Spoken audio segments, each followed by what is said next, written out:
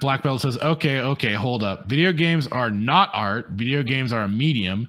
Anything can be art. A plate of food is art, but you aren't going to Burger King for the next Mona Lisa.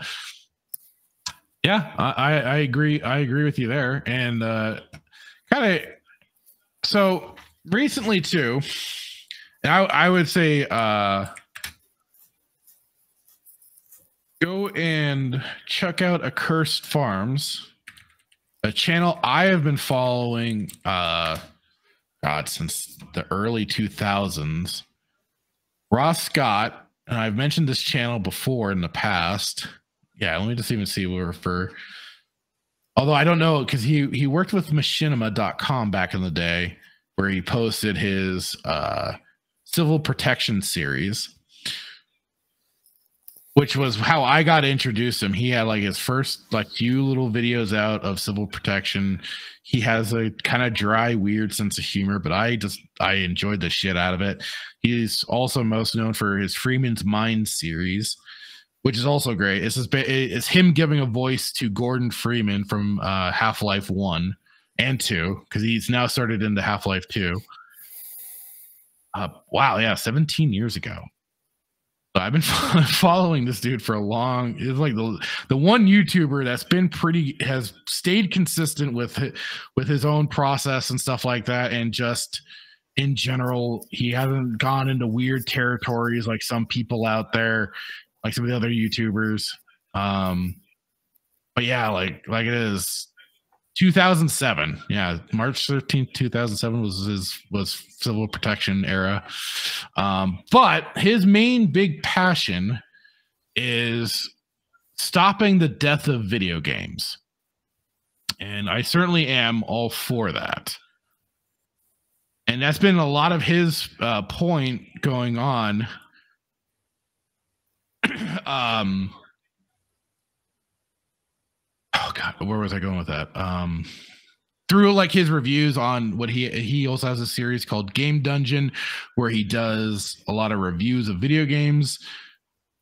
And he he's he's done this he's brought this topic up several times where games are on a limited lifespan when they are always connected online and stuff like that so for games like Battle Forge, uh, he did the the crew, and what they've done recently to with via Ubisoft from with the crew is they've killed they've killed that game, and so now he is working to do a, all these petitions to try and uh, let me just kind of I won't play the whole video. I'll uh, like it is. I'll, I'll drop the link to the video if you want to take a take a watch yourself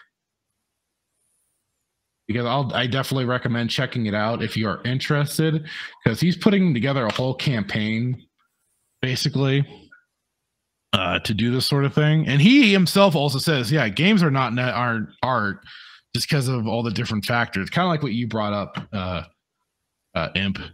You're you're pretty spot on there. But um, also, what he did was he created this site stopkillinggames.com. And I'll throw that link in the chat as well. Boom. Uh, so, uh, to get started, this site is dedicated to uh, real world action on ending the practice of publishers destroying video games they have sold to customers. Please click on the take action button below. Uh, uh, an increasing number of video games are sold as goods, but designed to be completely unplayable for everyone as soon as support ends. We were kind of talking about this with even Helldivers and stuff, and that's a very, very much a uh, a tr- truthful thing you have to kind of accept for some of these things. Also, like MMORPGs and everything. The legality of this practice is untested worldwide, and many governments do not have clear laws regarding these actions. It is our goal to have authorities examine this uh, behavior and hopefully end it, uh, as it is an, an, insult on both consumer rights and preservation of media. We are uh, pursuing this in two ways action on the crew. Uh, video video game The Crew, published by Ubisoft, was recently destroyed for all players and had a player base of at least 12 million people. Due to the game's size and France's strong consumer protection laws, this represents one of the best opportunities to hold a publisher uh, accountable for this action. If we are successful in charges being pressed against Ubisoft, this can have a ripple effect on the video games industry to prevent publishers from destroying more games. Um, and then government petitioning.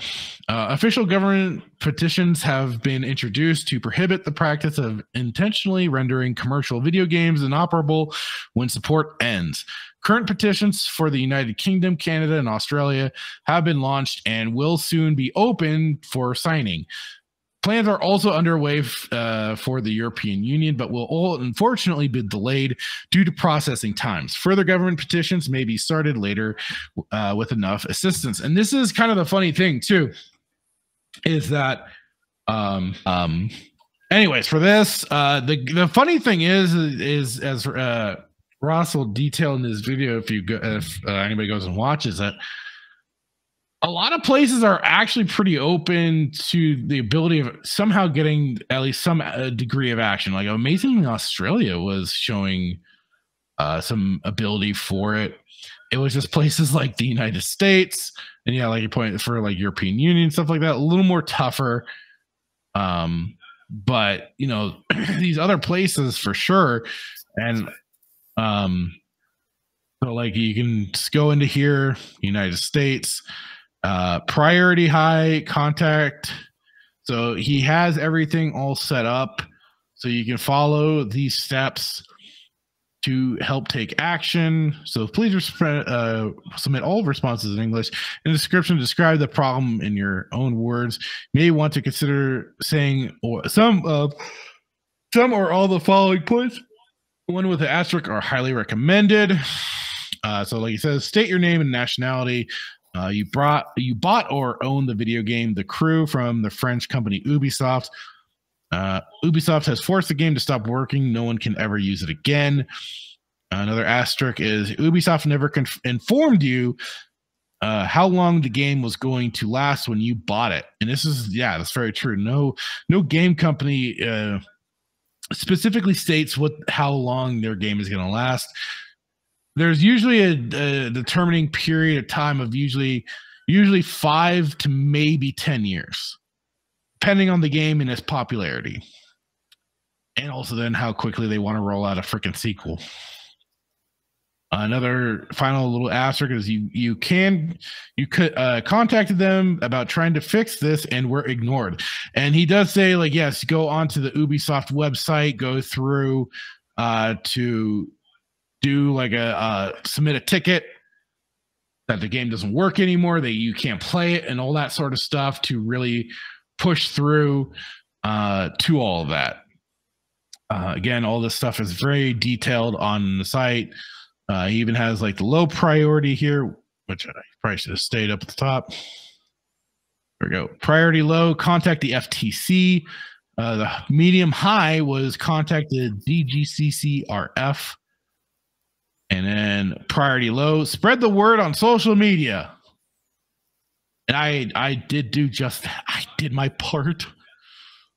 And also now spreading the word here. If you happen to have missed it, like it is, definitely go and check out his video on it. He's also done a great video, which is much longer though. Uh, and he for for this in uh, particular instance, he actually has a campaign uh, game campaign ADHD version, which hang on.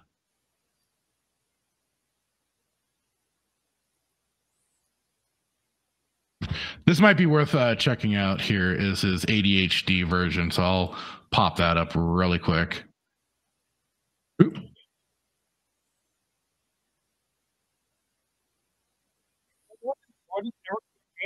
Damn it. It helps if I Share the screen. Refresh it. Wow. Okay, so I'm launching the largest ever campaign to stop video games from being destroyed. Yeah, destroyed. Like when a game shuts down, you can never run it again, but the publisher keeps your money. money! Yeah, it's only in the US where that crap flies. Worldwide, it hasn't been tested. Lots of countries literally don't have laws on this. I've been spending months researching and organizing where to take action on this. We're doing this in two ways. Two!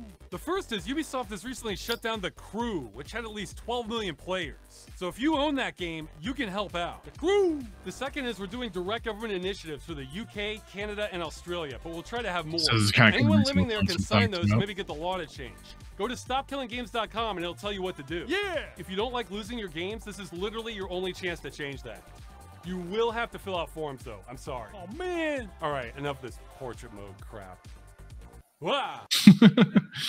but yeah, uh, his his longer video is much more detailed on everything that goes into it. Like I said, I definitely say take a look at it, um, because uh, it, it for one is an interesting topic, and if you are about game preservation, want to keep those old games around, uh, definitely. And I got I got I got to take time to probably my next days off. I'll I'll, I'll sit down and uh, go over everything and probably start trying to fill some of that shit out.